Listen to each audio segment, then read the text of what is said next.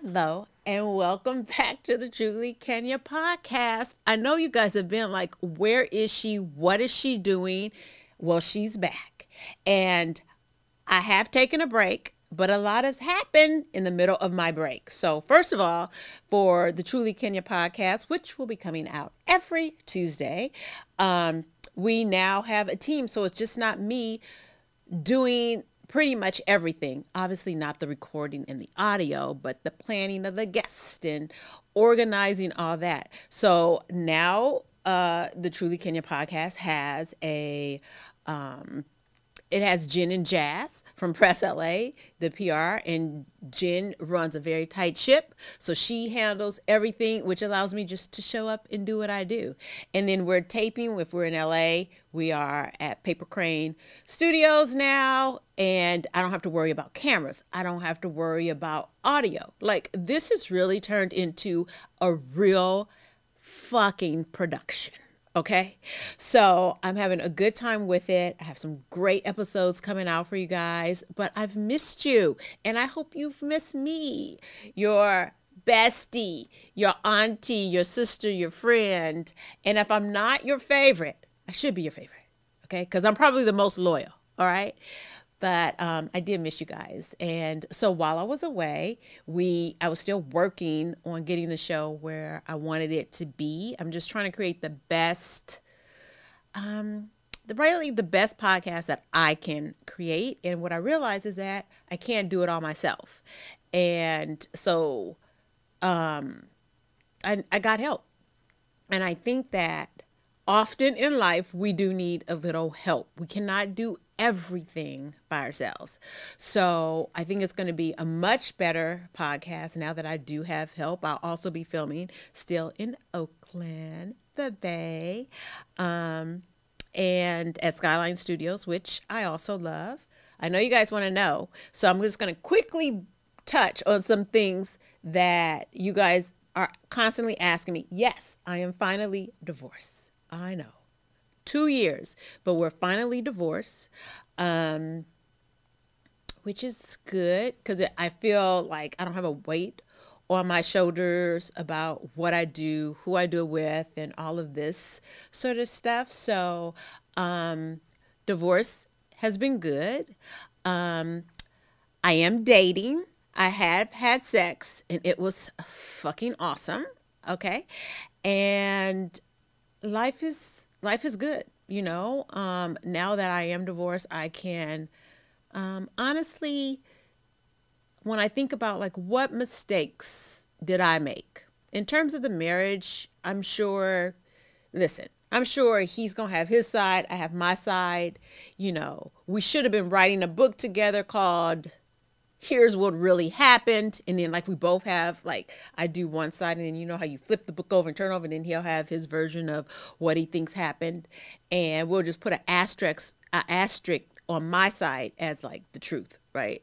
But um so yeah so the divorce is fine. Life is moving on. I don't really feel like there's a lot. Um i'm sure i made mistakes and you guys can be the judge of some of that um, but I don't have any regrets. So at this point, there's nothing I would take back or do differently when it comes to the divorce or maybe the things that I said. Um, you know, I I have gone through therapy, which was really good for me um, in terms of making sure I'm not carrying some baggage into new relationships. Um, I'm not bitter. I'm not mad. Uh, I want everybody to be happy because I'm happy.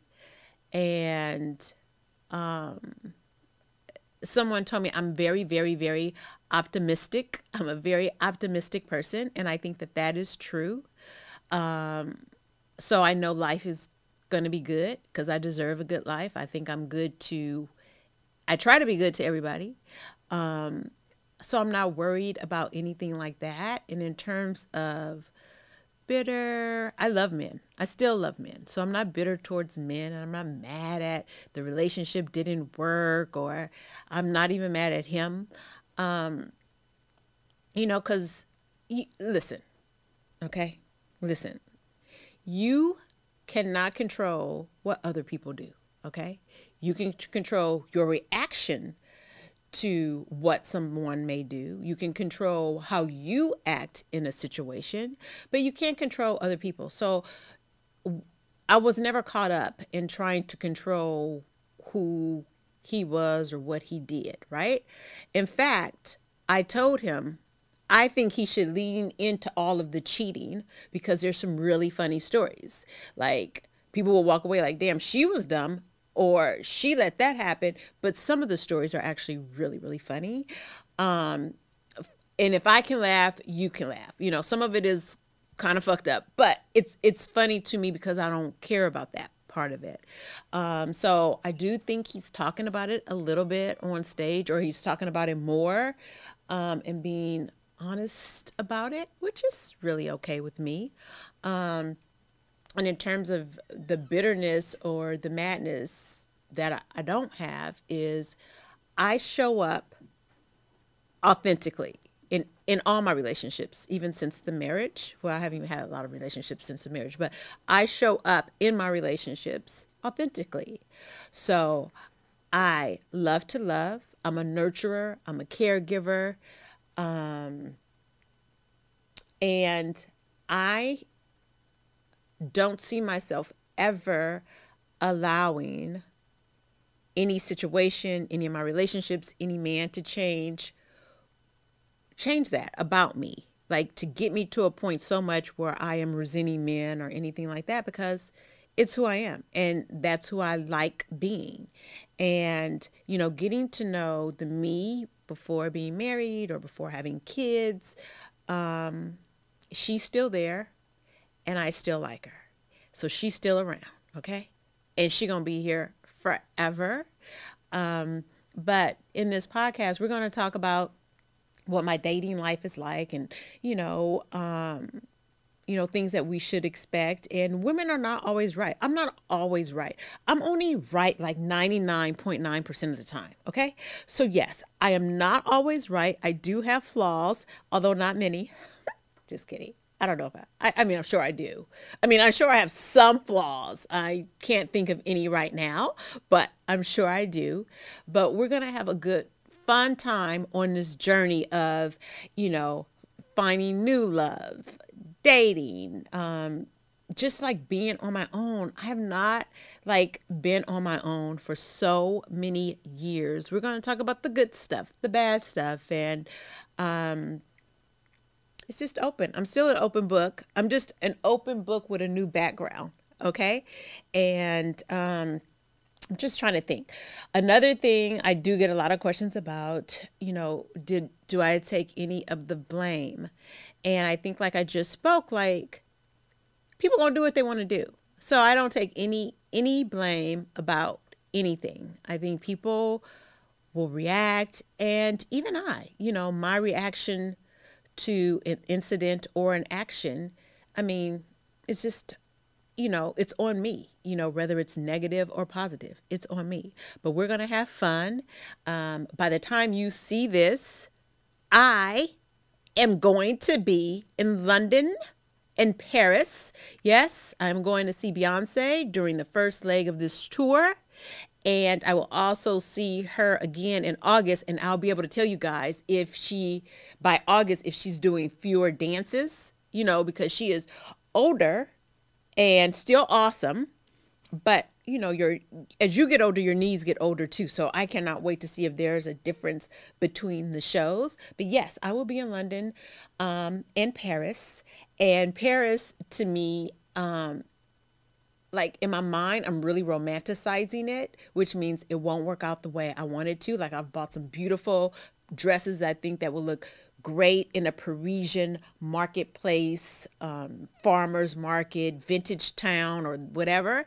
Um, so they're very, very beautiful, um, very Tuscany like wine country that you probably seen a, seen on a movie. So I'm so excited. I have like the dress is beautiful. I bought my first red dress. I'm gonna take lots of pictures. Now I don't want to get too excited because the last time I had like a vision of what I was gonna look like, um, I it didn't work out for me. Well, so when I was a little girl, I saw this picture of Um, it was an actress named Bo Derek. I don't know if she was an actress or a model or something. So the picture I saw, she had braids. She was a white lady. She had some braids and she was on this horse and she had a bikini. And I just saw it like in a record store or something. And I was like, oh my God, I'm going to do that. I'm going to do that.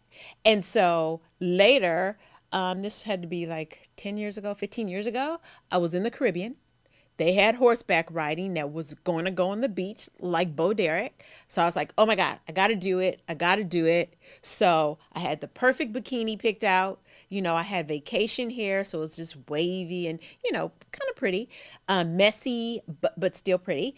And um, and I had like an extra set of clothes, you know, just in case. So I get to the place to ride this horse in my bikini on the beach and in the water and just, you know, hair flowing. And you have to wear long pants. You couldn't even wear a bikini. And then they made you wear like um like a helmet. It was like a styrofoam dirty helmet like you would put on a baby like if you was trying to shape the baby's head or maybe if you have a problem with like neck control um, or whatever. So, needless to say, it was not sexy. Okay. It was so unsexy. And if I can find a picture, I'm going to post it because it is so. I don't look like I need to be on that horse. I look like I need to be st- obviously strapped up or st- whatever. It's something else. Not on a horse on the beach. Okay. So, but, anyways, I did it. It wasn't what I thought. And now when I'm thinking of Paris and my Parisian outfits and my wove beautiful woven bags and my pretty little flats as I'm walking around shopping, um, something's gonna fuck it up. I don't know what, but something is, you know. I'm probably gonna be the only one dressed like that. Be like, you should be in Tuscany, you should be in wine country. Country. This is not how we dress in Paris, okay? So I don't know, but it will probably go awry. But I'm gonna stick to these Parisian dresses, and it better be warm because they're all sort of sleeve, sleeveless. With um, a couple of them have a lot of cleavage, but I'm just so excited. I can't wait. I can't wait. So um, I just wanted to jump on really quick. We got some great guests coming on for you guys this week. I mean, excuse me, for this season of the Truly Kenya podcast.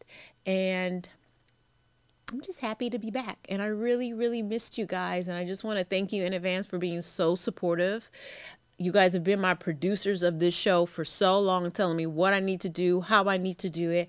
And I appreciate that. I appreciate the likes on YouTube. I appreciate the follows on YouTube. Um, I, I just appreciate you. I appreciate you allowing me to start and stop. But we're on one right now. So we're not stopping. Okay. Um, but I don't want you to to think like I didn't notice um, or I'm not grateful because I'm both grateful. I do notice and I'm super duper appreciative. And you guys get to see what the rest of my life looks like and the things that I am working on. And I'm excited to share it with you. And I hope somebody can use all the shit that I've been through um, as just motivation to keep it moving, keep it going. Um, it's going to get better. Promise you life gets good. So if you are going through something, trust me, it's going to get better. And with that, I just want to say I missed you guys, and she's back. All right, that's it. Tuesday, next Tuesday, you be here. Wherever you listen, YouTube, your favorite podcast platform, because we're back. All right, you guys. Thanks. Bye.